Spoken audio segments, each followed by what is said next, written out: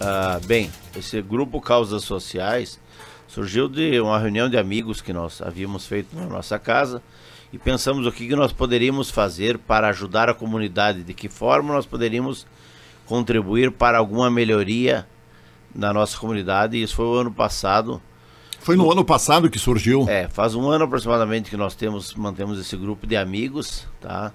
A gente não nomina ninguém do grupo, que são vários voluntários, todos nós somos voluntários. É um grupo formado de quantas pessoas? Aproximadamente 10 a 15 pessoas. Obviamente, dependendo da ação, tem três ou quatro ou cinco, é, porque todos temos compromissos profissionais, pessoais. Então, mediante a, a disponibilidade das pessoas, nós tentamos ajudar a comunidade. Uhum. Começamos a Demar o ano passado, no, na, na época do inverno forte, fazendo alimentações, é, refeições quentes para doação. Agora, nessa ideia inicial, quem é que estava participando desse encontro?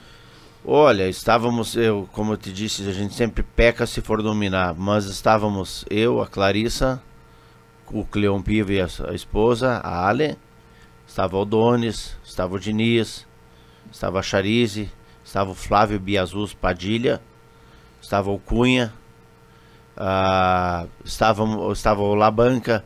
Nós estávamos, é, como eu te falei, geralmente a gente vai o Mesomo. Hum. Geralmente nós tinha um grupinho pecamos grande. ao relacionar pessoas. Mas, tinha mais pessoas que eu não me recordo no momento. Sim. Mas o intuito era fazer refeições quentes e distribuir nas noites frias. E assim fizemos. Essa a ideia inicial. Posterior a isso, era muito frio, então a gente começou a campanha dos cobertores. Nós doamos no ano passado quase 300 cobertores, tivemos um grande apoio da comunidade.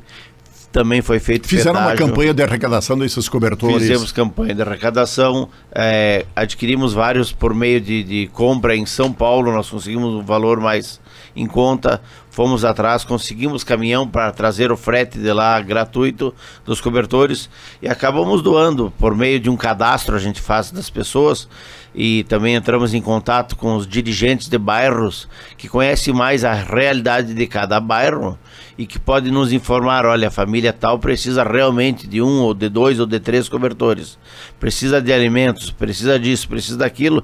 Então, mediante as necessidades da comunidade, a necessidade desses bairros mais carentes, a gente foi tentando fazer a nossa parte, obviamente da nossa forma. Poderíamos fazer bem melhor, mas não temos uh, meios financeiros, não temos tempo disponível, tempo hábil.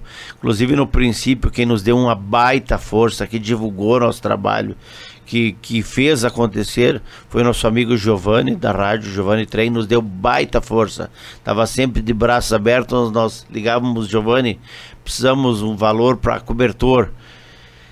Ele já divulgava, já nos auxiliava instantaneamente. Fizemos algumas reuniões, nos deu boas ideias, sabe que ele tinha boas ideias. Exato. É, contribuiu conosco também. É, foi parceiraço da ação social, das causas sociais da Lagoa Vermelha mas, como eu te disse, o principal intuito do grupo Ademar é nós fazermos alguma coisa, não ficarmos simplesmente de braços cruzados, uh, assistindo e comentando sobre a crise, assistindo e comentando sobre a fome, assistindo e comentando sobre o frio. A gente, da nossa forma, tentou fazer a nossa parte.